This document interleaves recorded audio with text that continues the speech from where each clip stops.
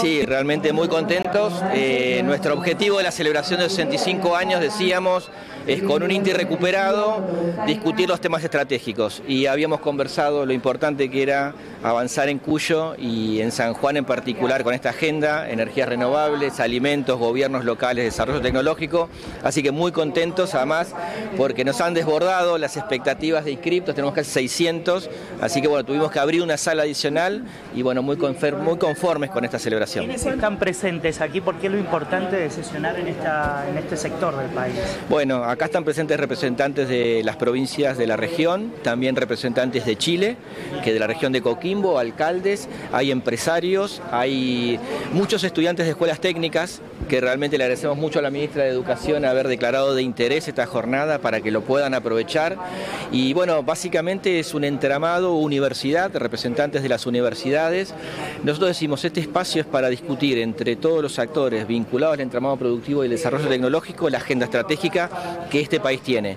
Y a veces lo que hay que salir es de los problemas cotidianos que pero para mirar la potencialidad de oportunidades de, la región y del país. ¿Qué tiene San Juan en este sentido? ¿Algo de característico que pueda aportarte? Bueno, ¿quién mejor que ustedes conociéndolo? Pero realmente tiene una cantidad enorme de posibilidades la provincia y la región. Nosotros destacamos mucho el trabajo que viene haciendo la provincia de San Juan en términos de desarrollo productivo, desarrollo tecnológico, en términos educativos y creemos que simplemente es una agenda hoy que se tiene que seguir consolidando con nuevas inversiones como están promocionando el gobernador y el ministro de la Producción en el exterior y básicamente el objetivo, nosotros decimos, el desarrollo en Argentina es desarrollo federal, eso genera oportunidades de una mejor calidad en el empleo. Nosotros, por ejemplo, hay muchos sanjuaninos hoy, sanjuaninas, eh, transitando Argentina Programa, que es para ser programadores. Es un proyecto de nuestro Ministerio de Desarrollo Productivo de la Nación en el que trabaja el INTI y hay miles de chicos hoy en todo el país, 200.000 eh, jóvenes eh,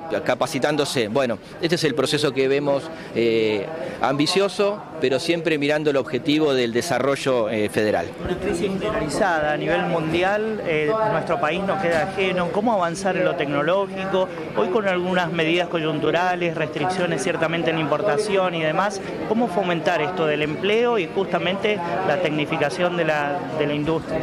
Bueno, nuestro ministerio 2019 tenía 7 eh, mil millones de pesos de presupuesto. En la pandemia llegó a tener y tiene 140 mil millones. Eso es destinar recursos directamente para asistencias, para financiamiento y en todo el país. Y cómo aprovechar contextos tan difíciles, eh, hay que estar muy activos eh, porque la coyuntura internacional es muy cambiante. Pero hoy decimos, la coyuntura nos da dos grandes oportunidades. Eh, las energías y los alimentos. Y claramente esta región, esta provincia tiene mucho en ese, en ese sentido. Lo que hay que hacer es tener la capacidad de trabajar en conjunto para planificar acciones. En la pandemia lo pudimos hacer. Argentina respondió con 29 de los 30 insumos que había que tener para combatir la pandemia. Y eso fue coordinación de agenda público-privado y así pudimos reaccionar también en un marco tan difícil. ¿Cómo trabajar con los chicos desde su formación, desde la escuela, para que justamente puedan estar estas áreas, aprender estas áreas y eh, decidan eh, apostar y quedarse en Argentina. Bueno, hoy tenemos más de 200 aquí en la sala, vamos a ir a saludarlos ahora.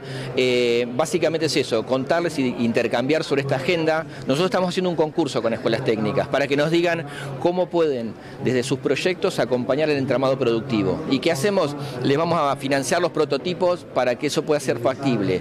Y la idea es esa, es vincularlos a lo que está pasando en su región. Me parece que es muy importante y sobre todo pensando en que hay dos grandes ejes, la sustentabilidad y la transformación digital en el proceso productivo claramente los grandes responsables para que eso siga aconteciendo van a ser los jóvenes. La idea es que desde la formación eh, tengan esa mirada y darles oportunidades. Y creo que la mejor forma de las oportunidades es vincularlo también con el mundo privado. Dentro de la agenda... Eh, Nación entregó fondos para ciencia y tecnología en el día de ayer. ¿Usted estuvo presente?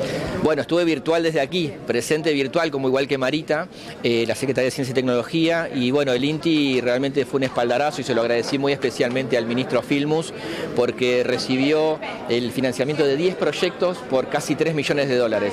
Eso es nuevo equipamiento y básicamente lo decía, el nuevo equipamiento es para transformar y trasladar y transferir a la industria esas capacidades. Dentro de la agenda estratégica usted habló de energías alternativas y Hensel habló del cobre. Eh, ¿Energías alternativas y cobre van de la mano en el desarrollo estratégico? Absolutamente. Lo dijo muy bien Alberto, es una referencia en el tema.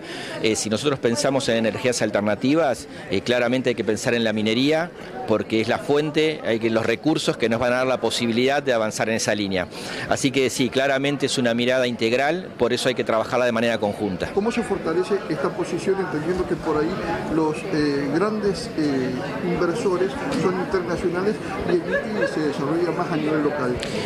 A ver, nosotros por ejemplo trabajamos en esa lógica con el desarrollo de proveedores locales. Las inversiones son muy grandes a nivel internacional, pero básicamente siempre requieren de un entramado productivo que los acompañe. Y el desarrollo eh, de proveedores nacionales en, digamos, en condiciones de responder tecnológicamente a esa demanda es una gran clave. Y eso es lo que también es un derrame de posibilidades, pero no por la teoría del derrame, sino por la, la, red de trabajo de articulación con actores locales. La combinación de inversión con desarrollo tecnológico local y empresas locales es la gran clave.